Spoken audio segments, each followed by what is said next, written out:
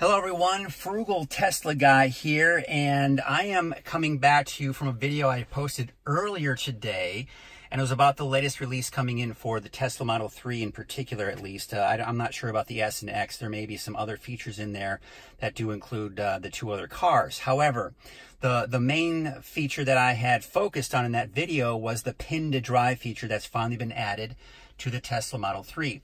Quick recap, what that basically is, is you put a toggle on in the car. And when you get into the car, you must first enter a four digit pin before the car will go anywhere, before the car will do anything for you.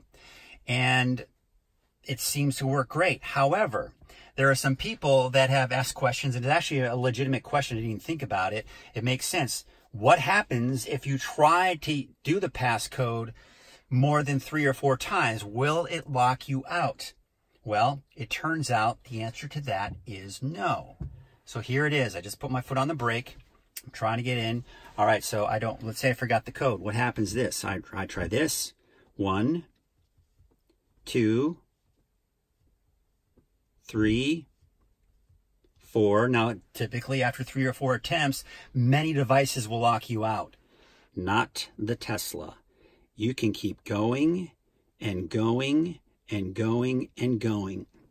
Now, there was also someone asking about, well, I noticed that when I put in my, my pin, that that's when the allow comes up. Allow comes up for any four numbers, whether they're the right numbers or not.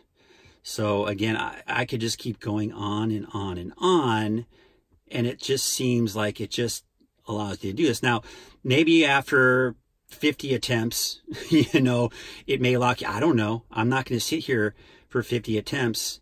I suppose if I want to spend an hour and do this and tell you the results, I could do that. But I don't think anybody wants to watch a video of some guy punching in a bunch of numbers incorrectly for even as long as I'm doing it now. Okay. So that's, that's what's happening now. So the next step, the next thing I thought of, well, okay, let me try my key. Okay. Let's see, where, where's my key? Where did I put it? I can't find my key. Well, I thought I could try my key. Oh, it's in my pocket. Let me try my key and see what happens. So I've got my Tesla key. I'm going to put it in the center console here. Let's see what happens. Nothing. It won't let me put it in reverse. It won't let me put it in drive. I forgot the pin. It won't let me do that. All right, so then the next step would be at the bottom here, it says enter your Tesla account credentials. That's asking if you forgot your pin. Here's the problem. I'm clicking on it and it's not taking me anywhere it seems to be a broken link, at least in the Tesla Model 3. So that's the problem. But then I tried something else, and it's actually, it includes going into the app, and from there, the car will eventually work. Now, uh, I am a low budget YouTuber here, so I'm actually using the phone to, to record my videos. Maybe one of these days I'll get a different uh, video recorder or something for these videos. But until then, what I'm going to do is I'm going to stop this video recording and then I'll tell you what I did. I am back. And what I did is I went into the app and I put it in valet mode. Now, the reason I went into the app is I actually try to do put it in valet mode from the car. It wouldn't let me because I needed to know the, the, the four digit pin. So again, from the app, I went in and I put it in valet mode. So now the question is, can I start the car? I indeed can. Um, I can go into drive. I can go into reverse. I can do whatever it is I want to do. I can drive the car at least from valet mode. So then I thought to myself, well, now what? What if I take it out of valet mode? And what I'm going to do, I, I think I did this before. I'm going to go ahead. Oh, I have to put it in, let's put it in park. Now it will let me do some stuff here.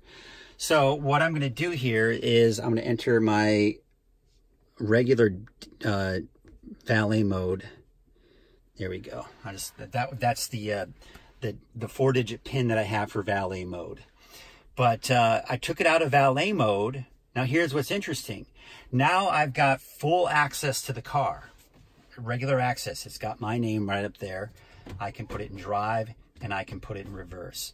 So it seems as of right now, um, the only way if you actually forgot your pin the only way you're going to be able to get into the car and get it working is put it in valet mode. And then if you want full functions of the car, getting it out of valet mode. So then the next question is, what happens after I do all of this that I try to get into the car? Will it ask for the pin? Let's find out. Okay, now I am back. Uh, I did the valet mode thing that I was talking about.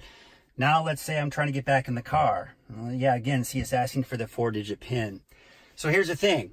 I went to the website, I went to my account on the Tesla website to see if there's anywhere I could go in there if I had a problem to forget my PIN. And it seems that there's nowhere in there that will allow me to do that. So my guess is that the only thing you'd be able to do at this point, if you forgot your PIN and you wanted to reset it, that you would probably have to call customer support. That would be my only kind of the last uh, thing that I would try to do at this point. Of course, I know the pin, right? It's one, two, three, four, and now I'm good to go, right? So, but again, if if you find yourself in that situation where you forget your pin, at least in the Tesla Model 3, the only option you're going to have to reset that pin at this point is to call um, Tesla service and they'll probably be able to get you set up and everything would, would be fine.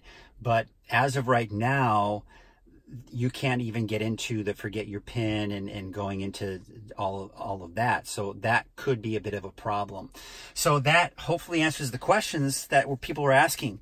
Uh, and the main question was, if you try so many, how many times that you can try the wrong pin number, will it actually lock you out? And at this point, it doesn't.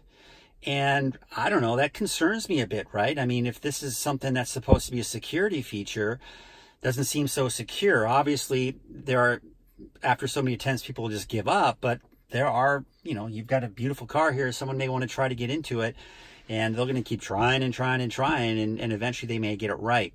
So hopefully that answers your question and it should be interesting. I'm going to be posting another video. It's going to be quick uh, about the other feature. I, I, was playing around with the new app uh, and I thought it was pretty cool and I wanted to show you uh, what it does. But um, that is um, this part of the video that I wanted to show you what happens with that pin number. So if you enjoyed this video, give it a like or a thumbs up. And if you thought this was informative and want to see more of my future videos like the one I was just talking about and want to make sure that you can uh, access it uh, quickly, then you can subscribe to my channel and if you plan on buying a Tesla at all in, in any time in the future, you can use my referral code. I will, of course, post that link below this video. So once again, thank you all for watching. And I've got this new tagline that my wife wanted me to try out. And instead of the stay safe, it made more sense to have the tagline, stay charged.